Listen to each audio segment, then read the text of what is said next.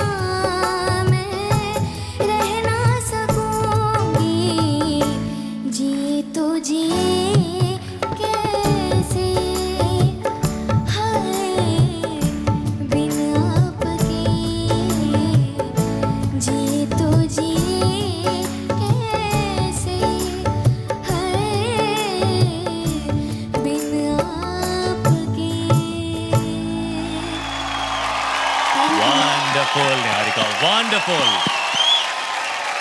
Thank you ma'am you too good ma'am thank you Lata ji ने भी आपको complement किया ना लता जी ने कैसा लगा आपको बहुत अच्छा लगा.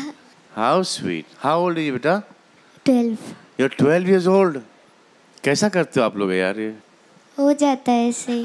हो जाता है बिना कुछ किए ऐसा हो जाता है हाँ हो जाता है हमसे क्यों नहीं होता? है वो आप ही जानते हो मुझे क्या पता?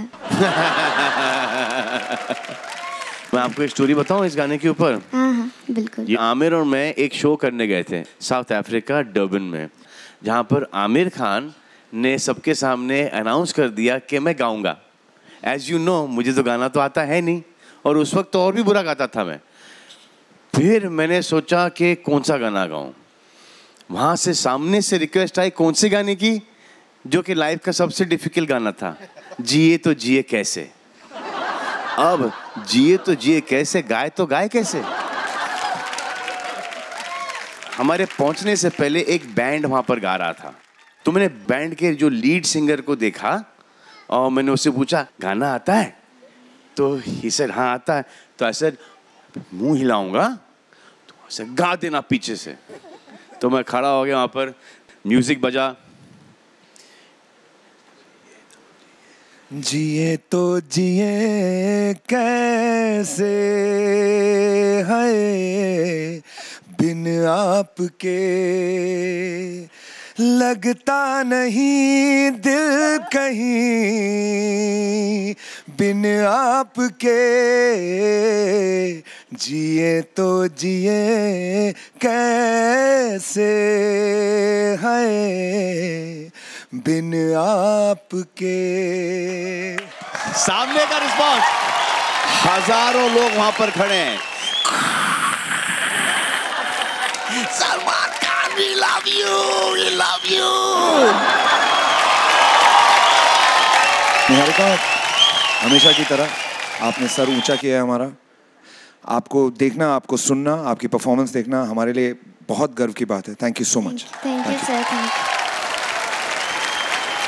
कोई भी आर्टिस्ट अगर इस मंच पे आता है और गाने के पहले उसको आई एम श्योर वो एक नर्वसनेस होती ही है लेकिन आप में वो नर्वसनेस नहीं है वो बहुत बड़ी बात है।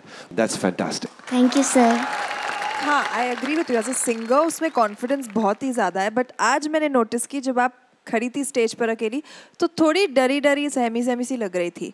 तो निहारिका आपको ऐसे रहने की कोई ज़रूरत नहीं है क्योंकि आप इतनी बेहतरीन सिंगर हो एक जादू है आपकी आवाज़ में। सो so, जब अगली बार आप स्टेज पर आओ बी मोर कॉन्फिडेंट क्योंकि you have no reason to be you know डरा हुआ। वोटिंग लाइन खुली रहेंगी कल सुबह आठ बजे तक। Thank you Niharika. For more updates, subscribe to our channel, click the show links and enjoy watching the videos.